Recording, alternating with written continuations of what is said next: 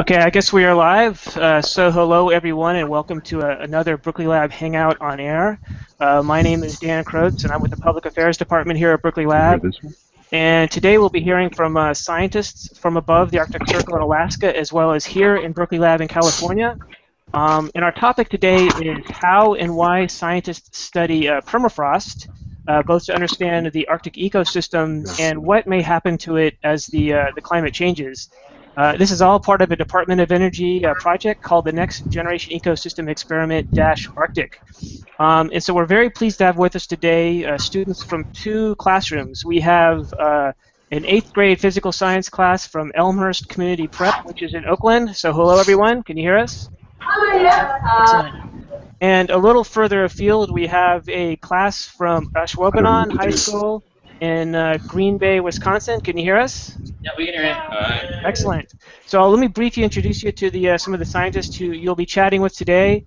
So above the Arctic Circle, outside a, a small town uh, called Barrow, Alaska, we have uh, Craig Wullschleger. He's from Oak Ridge National Laboratory, and to his right we have Craig Ulrich, who's also with uh, Berkeley Lab here. So can you hear us? Yeah, we're doing fine, Dan. Thanks. Excellent. And then after we hear from them, we're going to go to uh, Timothy, Tim Kneafsey, and Yuxin Wu, and they're here at Berkeley Lab, and um, they use a, the same kind of CT scanner, which you can see behind them, um, the same kind of CT scanner that you might see in a hospital, but they use it to instead image uh, permafrost cores. So you'll get a a, an inside uh, scoop on why they do that. Then after that, we're going to go chat with uh, Neslihan Tas and Romy Chakraborty, and they're microbiologists also here at Berkeley Lab, and they study the vast numbers of microbes that call uh, the permafrost home. Uh, before we get started, I want to briefly introduce you to who we are. We're Lawrence Berkeley National Laboratory, uh, also uh, Berkeley Lab for short. We're a Department of Energy national laboratory. Uh, more than 4,000 scientists and support staff work here, and we take on really big science challenges. These are things like clean energy, um, human health, uh, cosmology, which is the study of the universe, advanced computing, and new materials. Uh, we also have an Earth Sciences division, and they uh, do things like look for new energy sources and new ways to clean up the environment. Um, and they also uh, study climate change, which is the reason why some of them are in Alaska right now. So before we continue, I want to briefly, if I can do a screen share here, show you uh, where we'll be going today. Let me uh, mute uh, the Alaska folks real quick. And uh, let me uh, do a screen share to show you where we're going to be. If this is working. So I think you might be able to see the uh, map of the United States here, and Berkeley Lab is right here, which is in the Bay Area of California. And the folks in Alaska are way up here on the uh, north slope of Alaska, uh, which is the right here, which is near the town of Barrow, Alaska. And we also have a uh, high school from Green Bay, Wisconsin, which is somewhere over here. I think I'm getting that correctly. And of course, the other high school is in the Bay Area of California. Um, and that's it for me. I, one last thing, we want to make this as interactive as possible. Um, so if you have any questions, uh, please, people watching online, you could ask a question on our uh, Google Plus page. Um, you could also email us at askberkeleylab at lbl.gov or tweet us with, that, with the hashtag uh, AskBerkeleyLab. Um, and that's about it. And so now let's take things up to uh, move things to uh, above the Arctic Circle in Alaska, and we'll hear from Craig and Stan. And my first question, which every, might be every, on everybody's mind right now, is how cold is it up there right now? Craig? Well, hi, Dan. Thanks. Right now it's about 10 degrees Fahrenheit. Uh, it has been colder earlier in the week. Uh, we had wind chills a couple days ago of about minus 20 degrees Fahrenheit. We've actually received some snow here in the last couple days. Okay. Do you want to give us a brief introduction to uh, the project and uh, what's the, the, reason why you're up there, and then we can hear from uh, Craig on the, sort of the drilling work and coring work going on right now? You bet. Well, welcome everybody. We're in Barrow, Alaska, as Dan said, about 330 miles north of the Arctic Circle. Uh, I'm here with a team of scientists who are studying permafrost processes on the Barrow Environmental Observatory. And this is a 7,500 acre area of land that's been set aside for research by the local community of Barrow. And we're here this week doing geophysical work. We're preparing for snow melt and our hydrology team, which will start in about three weeks. And then we're doing a lot of work using the drill rig behind us to obtain uh, cores from the active layer, that upper layer of soil that freezes and thaws every year, and then deeper into the permafrost, which is permanently frozen ground for uh, thousands and thousands of years. The concern that we're addressing here is that temperatures in the Arctic have increased uh, two and a half to three and a half degrees since the 1950s, and we're beginning to see the consequences of that for sensitive Arctic landscapes. And so we have a large team of scientists that are conducting a lot of studies that you'll see this morning, and we're trying to take that information and understand what's going on and then accelerate the incorporation of that new knowledge into uh, climate models. Uh, and a lot of that has to do with what's going on on the surface, but especially in the subsurface and the soil environment. Uh, and I'll have Craig Ulrich talk to you a little bit about some of the work that he's been doing uh, and give you an overview that will make uh, the work that you'll hear on the CT scan and microbiology uh, relevant to what we're doing here in the Arctic. Excellent. That wind is like in my eyes. Can you guys hear me? I can hear you fine. Yes. Okay, excellent. All right. Well, thank you, Stan, for a good introduction. Um, I guess he's moving off. Um, so if you have any questions for him, I'll I'll grab him to come over in a 2nd Mhm. So yeah, what we're what we're doing to talk more specifically about the drilling and uh, the geophysical work that we do. Um, basically, Stan alluded a little bit to about the tundra and that you have an active layer which thaws every year and refreezes, and then you have permafrost that's permanently frozen. And also on top of that, you can see all the white stuff here, which is snow. Uh, we kind of account for the snow depth too. And one thing we do is uh, traditionally, when looking at the tundra uh, or any any subsurface, we basically would drill a lot of holes in order to investigate what is snow depth or what are the properties of the active layer, which is mainly consists of organic material, dead organic matter, and um, a lot of sand, silt, and clay. And to investigate that, and then the permafrost, which is a little bit more uh, usually mineral soil, which is sand, silt, clay, and also uh, some ice and uh, ice-rich areas, and also some ice wedges, which typically form by uh, just give you a little background about ice wedges. A crack will form at the surface and break open, and water during the springtime will go in and, and basically refreeze, and that keeps building and building and building over years, and you get an ice wedge structure uh, in the ground, which can be, you know, feet by feet, uh, if not meters. So um, one thing that's oh, what's it? We killed the phone. Um, I don't know who, whose phone that is, but that's okay. Sorry, threw me off a little bit.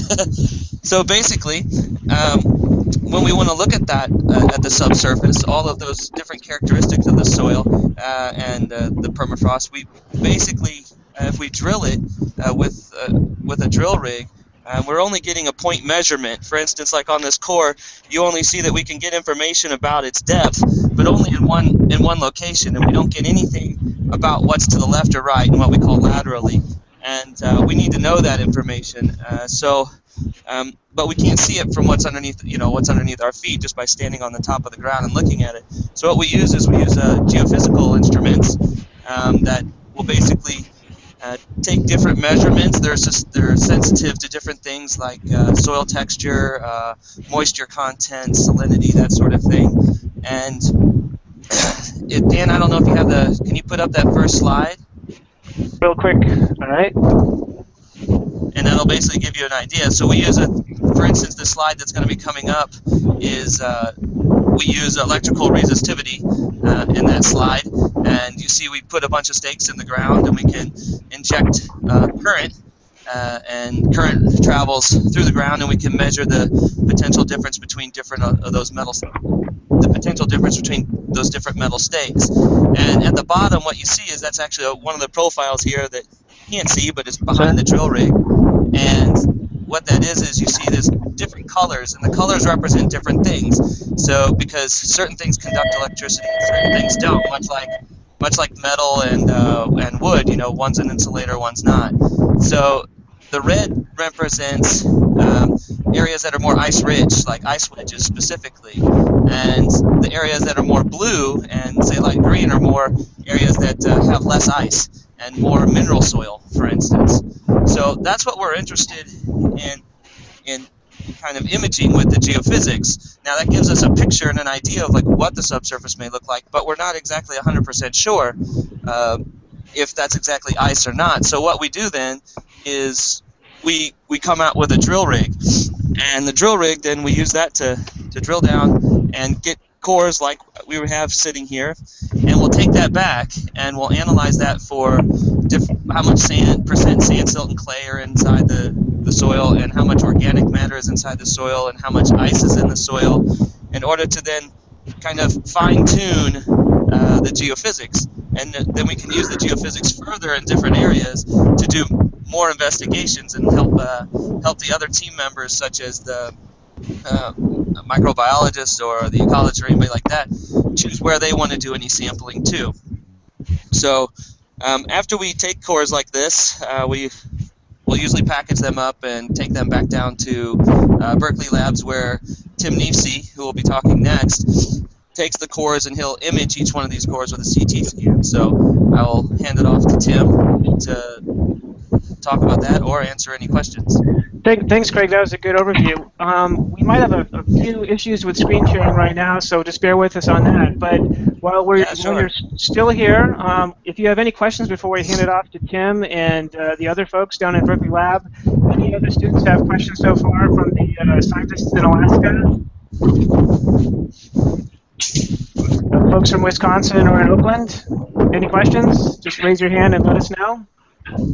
We can take uh, questions afterwards also, but if not, we'll, we'll now move over um, to Tim Kneafsey and Yuxin Wu, who are in the rock imaging lab. I'm going to mute Craig now, so we might not get of that wind pickup. Uh, they're in the rock imaging lab uh, in, down in Berkeley, and I think they're the highlighted screen right now, although I'm not sure. And if you could briefly just let us know what you're doing with the CT scanners as well as the other work you're doing uh, once the permafrost cores, I guess, travel from Barrow to Fairbanks to Anchorage, then to Seattle, and I guess their flight to Oakland, and they eventually end up in your lab. So take it away, guys. Okay, um, there are a lot of really cool labs here at the Berkeley lab, but this one is my favorite lab. It's, it's uh, one of the reasons is that it's got this medical CT scanner, and it's a really, really amazing tool for looking at what is happening or, or what is inside of a sample. And as you saw earlier, Stan and Craig showed you, they, they retrieve these cores very painstakingly and carefully from the Arctic, and then they bring them back to the lab while still frozen. And so we take the, the cores, we put them in a freezer, and then when we have a, chance, we will put them on the CT scanner. Now, looking at this core from the sleeve here, we can't really see a lot. We, we see the top here, uh, we know that, that there's some, some probably vegetation, and then we have the, the uh, active layer, which is the region that thaws every year. And then below that, we have the permafrost. I'm going to hand this core back off to mm-hmm. someone. Um, so this is a core from Barrow, Alaska that, that Craig and, and his coworkers very carefully collected and very carefully brought back. And now I'd like to, to show you a little bit about what you can see in the, the CT scans. And Dan, can you put up the first slide, please? I'm pulling it up now, yes. So I think everybody could see this uh, CT scan now. So if you're looking at the, the, uh, the slide I just put up, you see on the, the left side, there's a, a regular X-ray image. And some of you may have had uh, x-rays taken of your leg or something if it's broken, but you see an x-ray image of a chest here, and, and it looks a little foggy and a little unclear, but you can make out generally what things are in there. Um, it, looking at the right, you see a CT scan image of the abdomen of somebody, and you can see with very, very good detail what's inside the, the person, slice by slice. They didn't slice this person open they used the X-ray CT scanner to gather data so that, that the computer could compute what uh, the densities are everywhere in the, the person. And so looking at this, where it's white, that's the highest density, and in this case it's bone. And where it's dark, that's the lowest density. and in this case, it, it's uh, it's air. And so you see some things that are air filled and, and some, some bones, and then you see other organs that are in between. Now, can you go to the next slide, please, Dan? Alrighty. The other slide's up. Thank you. Um, so what you're looking at here in, in this slide, on the left side again, you're looking at a regular X-ray of the core that we just showed you.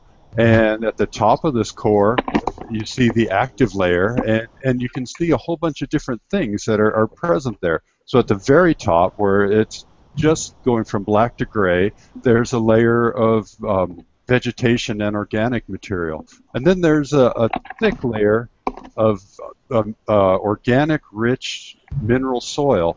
And if you look at the first slice over in this, the center of, of this slide, you see a, a gray circle that has uh, numerous veins that are filled with ice. And the veins that are filled with ice are these, these they're a little bit darker than the organic, uh, rich mineral soil. And so you, you, can see that there's a number of these veins, and so we have a stack of these slices. The interest, one interesting feature here on this slice is something that's going from about 8 o'clock to 2 o'clock. There's a, a root, and it's it's shown in uh, two places in this slice. It, it goes through a number of different slices.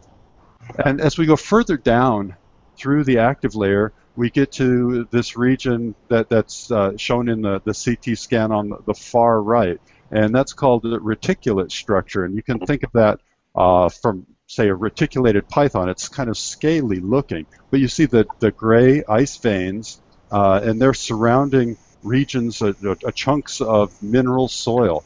Now, when you look at the, the X-ray over on the left again, you see how there's large chunks uh, right below the organic soil, and, and where you go to the brighter mineral soil, and then it gets smaller and smaller, and then the the orientation of the ice lenses changes to more horizontal. Can we go to the next slide, please? Dan? Yeah, I'll pull that up. It's it's the one with the uh, I guess the permafrost. Yes. So in this uh, slide, we're looking at where the permafrost is, and I've kind of guessed a little bit about the the actual breaking point from active layer to permafrost. But I wanted to show you an image of uh, one slice of of permafrost, and what we're looking at here is the dark gray, or the, the gray again, is ice, and it's porous ice. You see little gas uh, bubbles in the ice, and it's surrounded by mineral soil. So there are, are, mineral soil regions there. And one of the things that's that's of interest here is we're, we're trying to understand what's happening in the Arctic um, in, in response to climate change. And as the Arctic warms, what's going to happen to the, the, the the Arctic ground itself. And so if if the active layer gets thicker every year and more and more of this ice melts, you're going to see less and less support for the ground. You're going to see water that's produced. You're going to see perhaps even sliding of, of ground that's present mm-hmm. right now. You're going to see a, a, very different landscape resulting from the melting of, of the this ice, and you're going to see organics that are produced as well. Now, we've been doing some other tests here at the Berkeley lab mm-hmm. on some of these cores, and I'm going to turn the presentation over to Dr. Yuxin Wu, who's going to tell you about those uh, those tests that we've been doing. Great.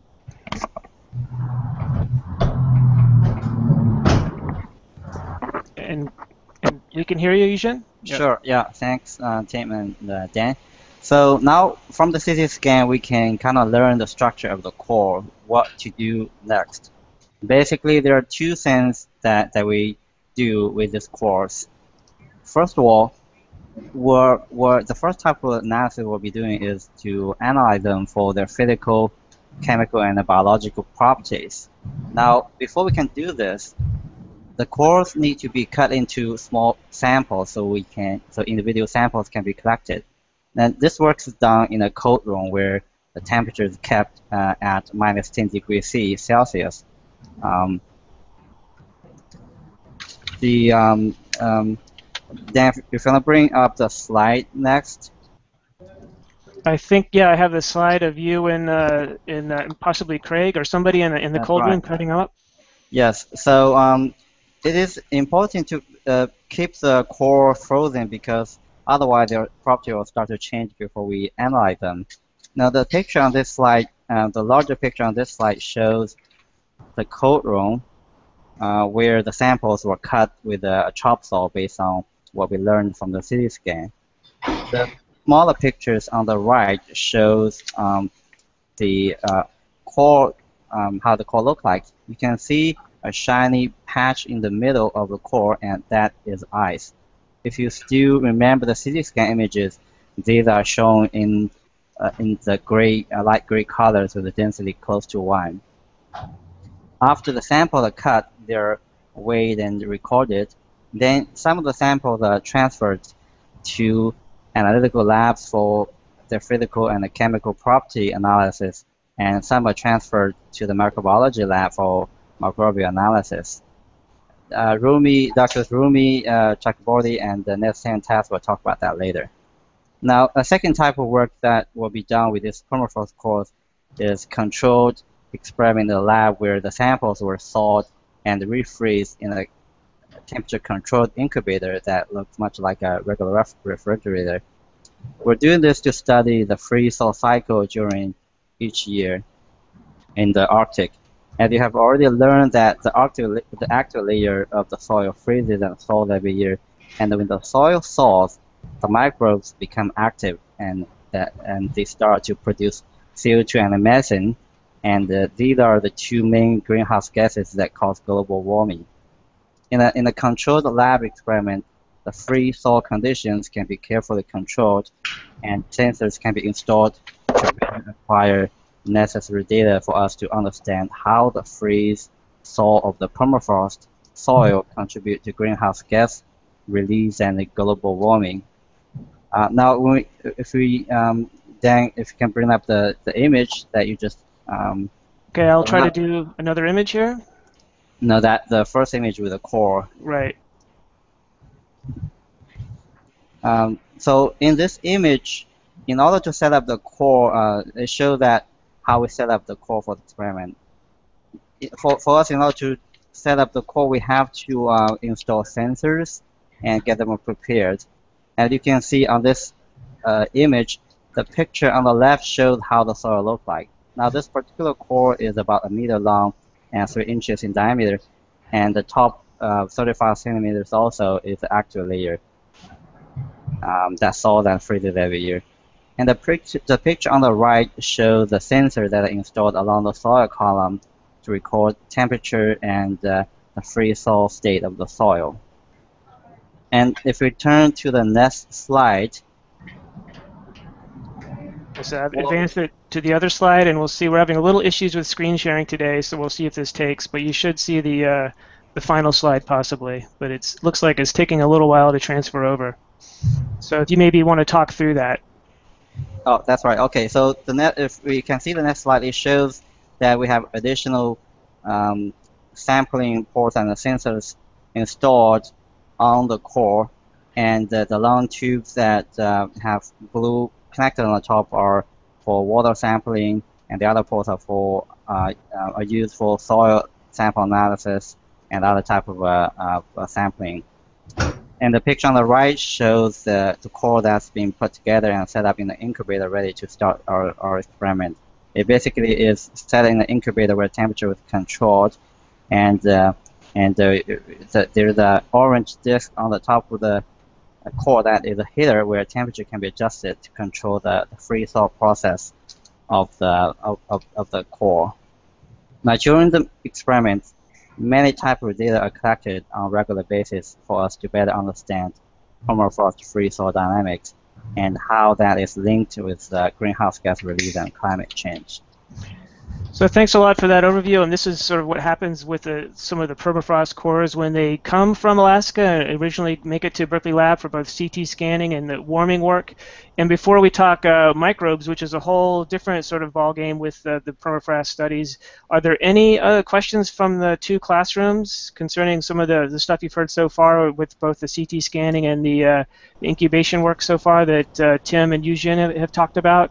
And we're having a little bit of question, uh, trouble with screen sharing right now, so maybe we might have to uh, not use that as much in the future. But I'm wondering if there's any questions so far. If not, we could easily um, easily take those after the next uh, after Romy and Neslihan talk. Yeah, we have a question in Oakland. Oh, question in Oakland. Let's see if we can uh, uh, have you highlighted and you can take it away. Uh, why do you hold the gloves when you're? I mean, I mean, why are you wearing gloves when you hold the the, the core? Why are you wearing gloves when you hold the core? And I guess that's a question for uh, T- Eugen or Tim, quickly. Yeah, since I have the headset, I'll answer that question. Because the cores are stored in a minus 20 degrees C uh, uh, freezer, so they're really cold, and you don't want to burn uh, burn your hands. So that's why you wear those uh, cryo gloves to keep um, your hands from getting hurt. Got it. We have a question as well. Okay. And I apologize. I think I might be the screen that's highlighted mostly during this hangout, which I'm not quite sure what's happening. Uh, but go ahead and we'll see if we can work through this. Let's see the chair. Too Sit close. down, sit. All right, how far does the data go back, or like how long ago did you guys start going back? Uh, like, that could be another question for Tim and, and Eugen, possibly. And how far back does the uh, the data go in Um, terms of what you're collecting? right, the the permafrost, the actual layer, uh, um, the uh, permafrost of the actual in the in the uh, Arctic uh, stayed frozen for hundreds of years, and by looking at actually um, when we actually sample the core, we we date the radiocarbon, which is carbon 14, that actually decays with time. We can actually look at the age of the soil. Now, some of the carbon were dated to back to um, a few thousand years, so which is um, you know typically when the soil was formed. So so so it, I would say some of the soils were actually formed thousand years ago. Got it. And that's uh, let's try to move now to uh, Neslihan Tas, and um, if I can, and uh, Romy in uh, the microbiology lab, and see if I can switch over to there. Quickly, can you see yourselves? Yeah, yeah, no. Okay, I think I have you guys highlighted now. Okay, so hello everyone. Uh, hi from the microbiology lab in here, Berkeley. Uh, today we're going to talk about why are interested in microbes in Arctic.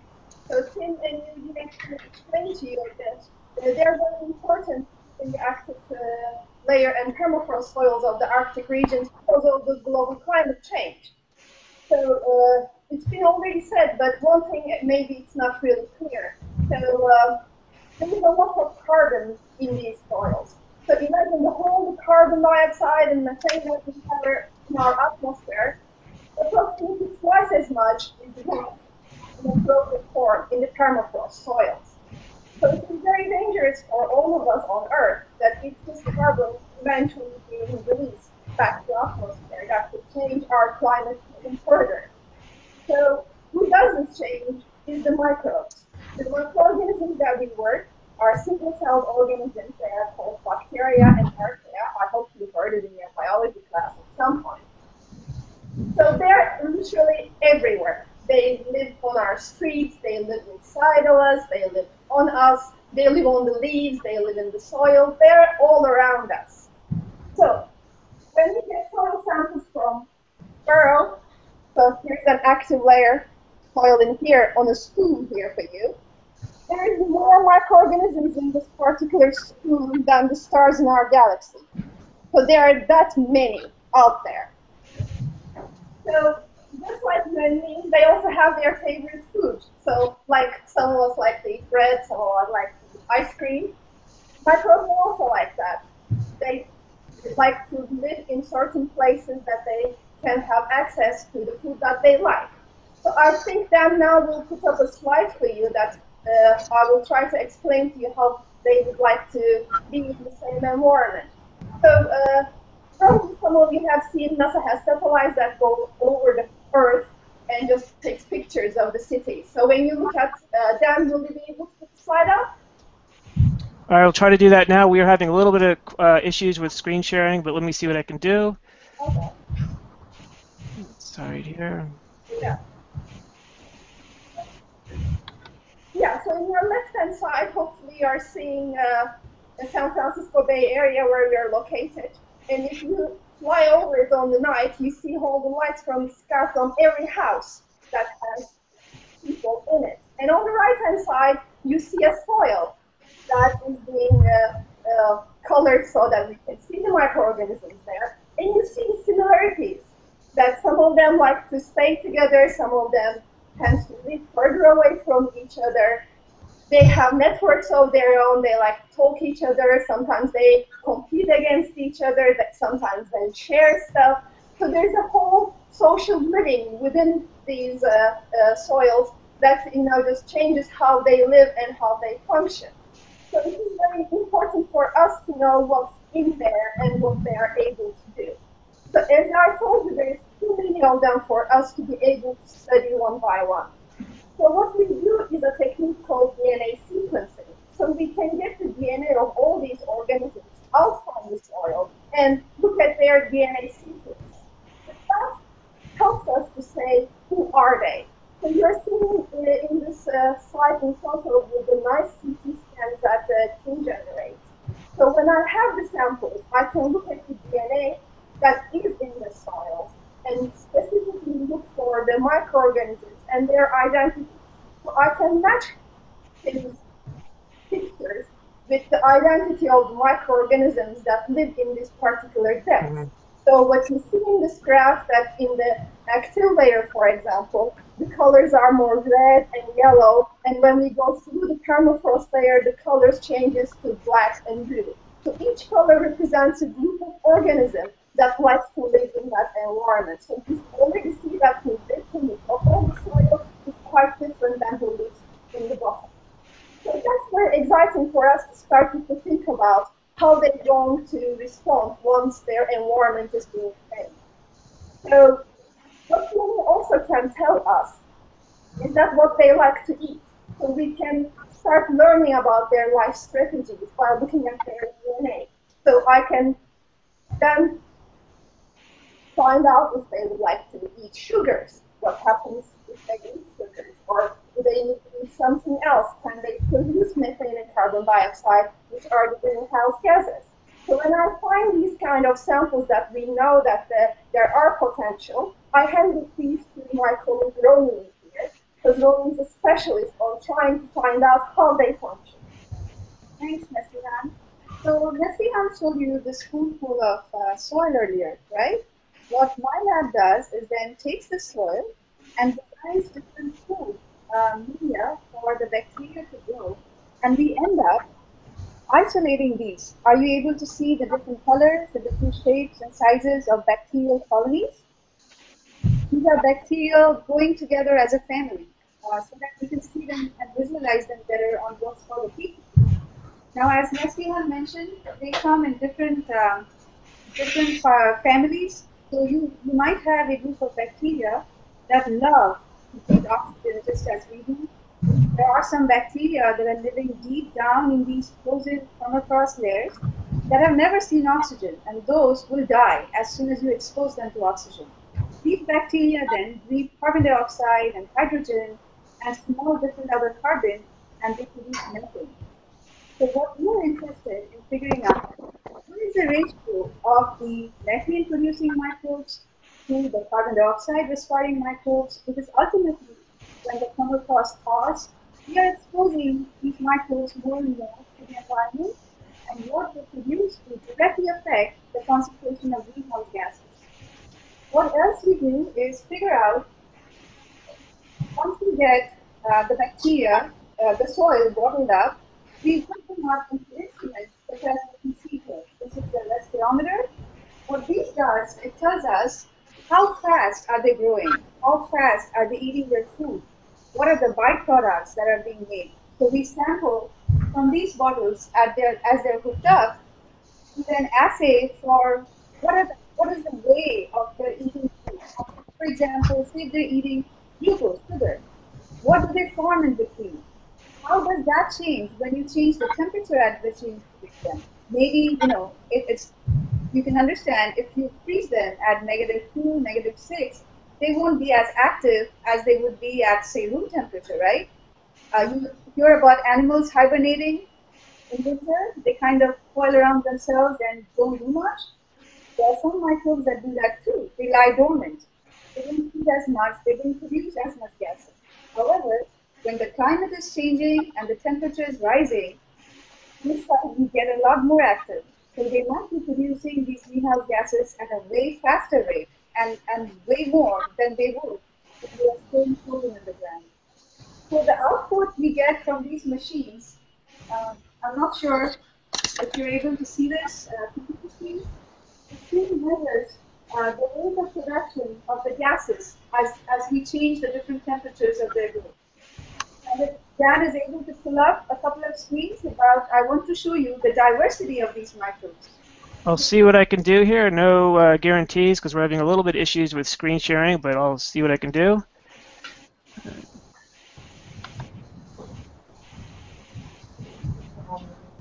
All right, so this, this picture you see is a phylogenetic tree, and each color pertains to a specific family of bacteria.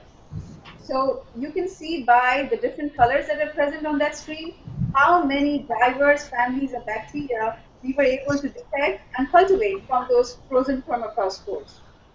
And it now shows you the next picture over. Alrighty. This shows you the individual bacteria now colored with the stains, just so that you're able to see them better. You see the different shapes, the different sizes, how some of them, as Neslihan was talking, want to click to their friends and partners while they grow. You see them cluster, while you see some of them that don't like to be in touch with each other, and they are happy growing by themselves.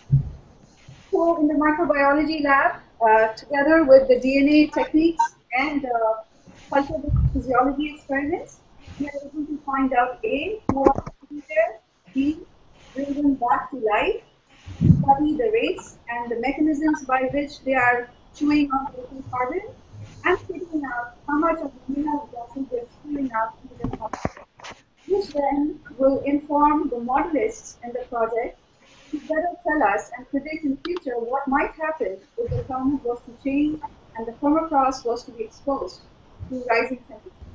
Let's open it up to questions, and I'm going to unmute Craig in case, in case there's uh, questions uh, for the, the permafrost team up in Barrow, Alaska. So I have a couple questions that have come in via email, but if anybody uh, from the classrooms has questions, I could easily uh, queue them up also right now. So are there any questions from either Green Bay, Wisconsin, Ashwaubenon High School, or uh, Elmhurst Community Prep here in Oakland? We got a question. Uh, is, okay, go ahead. Okay, so I'm just kind of wondering, like, how did this all get started? Like, who came up with the idea that, oh, let's take ice core samples and like look at it? Like, who came up with that? That's a that's a good question. Um, Craig in Alaska, did you hear that question? Do you want to sort of? Yeah, I think that's probably going to be best for Stan since he's the head of the Uh-huh. project. So if let me grab him real quick. Okay. Or if anybody else wants to uh, take that question, it's uh, fair he's, game. he's coming real quick. Okay. He's right here. The Question is. Okay, well, thanks for the question. Well, this was a real collaborative uh, activity between four national laboratories and the University of Alaska Fairbanks. And we actually had a lot of input from our Department of Energy sponsor as well. So this is a large project, it's an integrated project, and we started right from the beginning uh, with a strong mandate to conduct field and laboratory research to understand processes for modeling. Thanks, Dan. Got it. Does that help answer your question? Yeah, thanks. Good. Uh, is there any questions uh, from Oakland? Looks like somebody has their hand up there. I guess I could see that. Um, I was wondering if it Let me uh, mute Craig here and maybe try to ask your uh, question again, um, folks from Elmhurst Community Prep. Can you come up a little closer? Okay, since there's bacteria in the soil, can it go into through the plants? And then into you.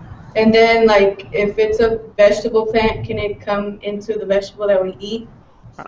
That's a good question, and let's let's move that over to Neslihan and Romy, who are our microbe experts here.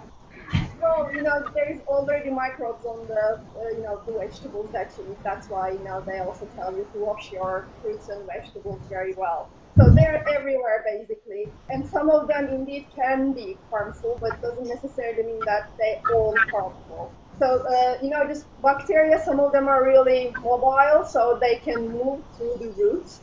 But we don't really know how much they can move up to a leaf that comes to you. But just please uh, remember, you already have bacteria on you. Your skin is covered in it. You have a lot of bacteria, actually more cells in you as you are now in your guts than your human cells. So uh, part of us. They are very important for our digestive system. When they are not happy, most of the time we are not happy.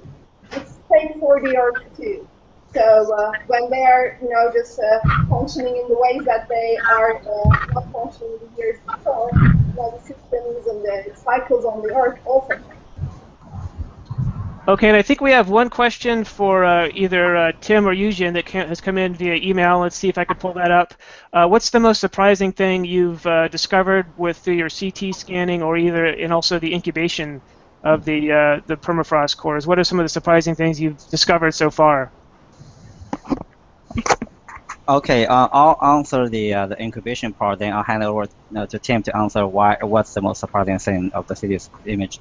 So um, in, during the incubation, um, we've been collecting uh, gases that actually come out of the column, and one thing uh, that we found is that we have this sudden burst of, uh, of CO2 from the soil. Then it, it lasted for maybe a week or two. Then the concentration uh, dropped and we're you know that's quite surprising because during the process we uh, continuously saw the the soil, so the actually the salt layer um, getting uh, get increased over time, but we, we Mhm. have this CO2 gas flux that actually fluctuate with time. So um, to find out why that is the case, we need to look at the uh, sample we collected and look at the chemical property, the uh, the microbial uh, uh, properties to, to kind of figure out why we have this um, Mhm. happening. That's the uh, uh, for the incubation. You know, it's, it's still ongoing, and we actually um, have been running it for a couple of months, and uh, we're, we're still uh, have a lot of questions that, that need answers. And I hand over to Tim to answer the CT scan. What, what are the uh, I, so Tim? The question that we had from email is, what are some of the surprising things that you've uh, one one surprising thing you've you've discovered so far by imaging the permafrost cores? Well, there, there are a lot of surprising things I've come with. I had a, a picture in my mind of what the permafrost looked like, and that there was this thick layer of, ice that that uh, and frozen soil that wouldn't allow any transport of gases uh, through it. But when I look at the CT scans, I see very porous regions that should allow transport of, of gases. I was also very, very uh, interested in the structure of the soil that's in the active layer. All of those uh, veins that are filled with ice that I showed, um, when those freeze and thaw, they, they, they continuously uh, disturb or, or cryoturb the, the soil. And so it was, it's interesting just to, to watch the, uh, or look at the, the difference between the, the cryoturbation at the top versus the depth in the soil. So um, those are some of the things that I learned. And I think we might have one more question for uh, for Craig up there in Alaska. Can you hear us? All right, guess Craig, can you hear us up in Alaska? Muted me. Oh, sorry, I think I've unmuted you. Um, Yeah, I can hear you now. Or So- I can hear you. Can you hear me? yeah, the question is like, as you're up there in Alaska, how many cores do you plan on try to extract right now, and how long does it take to, to like, take out a core, drill a core in Alaska? How long does it take to get a core? Yes. Well, it's um, it's actually a, a pretty difficult process. Um, in that it's it's just difficult because it's very easy to get stuck in the ground.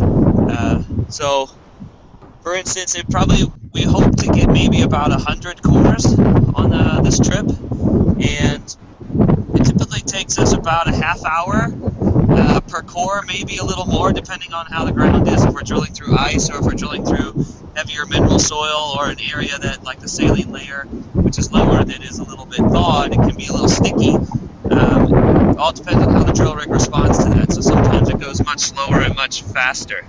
So typically, I would say probably about a half hour to an hour to do a core, um, maybe a little more depending. Got it. Thank you. Um, are there any other questions from the uh, the two classrooms? I've been told that our screen sharing is somewhat fixed, so I'm not sure what happened there. Um, Okay. what's that? From uh, go ahead. Um, can some th- sort of extreme climate change or weather condition of that nature throw off the data you collect? And I guess that could be a possibly a question for, or st- you're just wondering if any kind of extreme weather information could throw off the data that you're collecting from the permafrost cores. Is that that is Yeah. that correct? Yeah.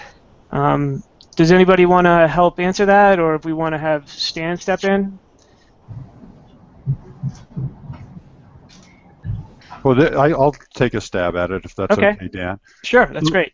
So what we're, of course, everything that we collect is uh, it depends on the, the, the time and the date and, and how cold everything is when it's collected. And so the weather does play a role in that.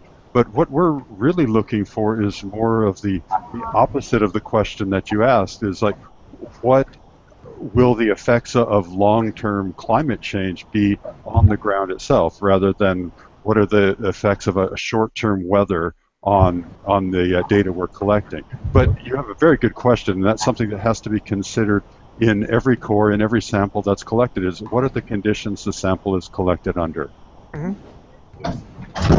Uh, we probably have time for one more question, one or two more questions from the uh, the two classrooms participating. So now's your chance. You have uh, the scientists uh, online now. If you have a, a question concerning the uh, permafrost work and what happens uh, here at Berkeley Lab after they get here on the microbial side or for CT imaging and, and their warming, uh, just let us know because the uh, oh here we go. I think from Oakland. Go ahead. How often do the cores break? How often do they break? Ah, I guess any you, Craig, or uh, or um. Can answer that. Go ahead, Craig. You're on. As far as um, how often do they break, um, like when you're drilling them, for instance, uh, the the mechanics of the drill rig spinning and collecting the core and cutting it out um, typically will cause a break in the core. Um, we we typically don't get a whole piece that's say uh, like three feet long. Um, it'll be broken into to sections. Could be six inches to a foot. Um, some sections may be longer, maybe two feet. But uh, typically they, they will break at, at some point from, from the spinning part of the the or the mechanics of the of the drill rig cause that. Got it. Hopefully that answers the question. Uh, one. Is there any final questions from the uh, the classrooms here participating? Uh, one more one. This will be our last question, and then we'll have to uh, move on. Go ahead. Okay, so my question is, I think this might be for Craig and Stan, but I could be wrong. Um, if they are only located in cold climates, how do they tell conditions around the world? Like, how do they relate to everyone here that's not in the Arctic Circle? That's a good question. Uh, Probably any number of scientists could answer that. But did you uh, catch that, Craig? So you're doing research in the the Arctic, and how do you relate what you learn in the Arctic to other areas around the globe? Because climate change is obviously a, a global problem, if I understand the question. Right. So the goal of this project, and, and Tim and others can also chime in uh, to add to this, is is that we build these climate models from this these relationships and understandings we have with the subsurface and surface and water drainage and everything, and we can feed all of this into a, a, a, larger model, and then that can predict climate feedback or, uh, uh, feedbacks from the tundra here. But we hope that it can be applied. This model can then be applied to areas where there's other tundra, for instance, in Canada or in in Russia or maybe in like Norway or something like that. Anywhere where there's tundra, that they can use this model to then predict how it's gonna how it'll be in other places. Got it. I think that helps answer the question, and um, I'll. That's pretty much all the time we have for now. The scientists and I'm sure the classes and the students have to get on to other things in the day. I really appreciate you uh, uh, watching this, and a special uh, appreciation and um, am glad that the two schools, Ashwaubenon High School and uh, Elmhurst Community Prep, participated. And special thanks to the scientists taking uh, time out of their day to participate. If anybody watching or the students have additional questions, feel free to email us or catch us on Twitter for follow-up questions, and we'll try to track down those questions. And uh, I apologize for the uh, screen sharing. The thumbnails weren't always appearing as I wanted them to. We'll try to iron that out for next time. And again, thanks for everyone for participating, and see you at our next hangout. Thank you. Thank you. Thank you.